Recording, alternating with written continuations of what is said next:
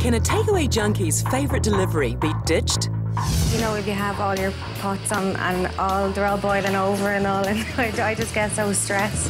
Find out as celebrity chefs aim to cook and beat the takeaway on time, cost, and taste. That sounds like a tough challenge to me. We're the real deal. We're the best Chinese. Take on the takeaway, Saturday at 6.30 on Food TV.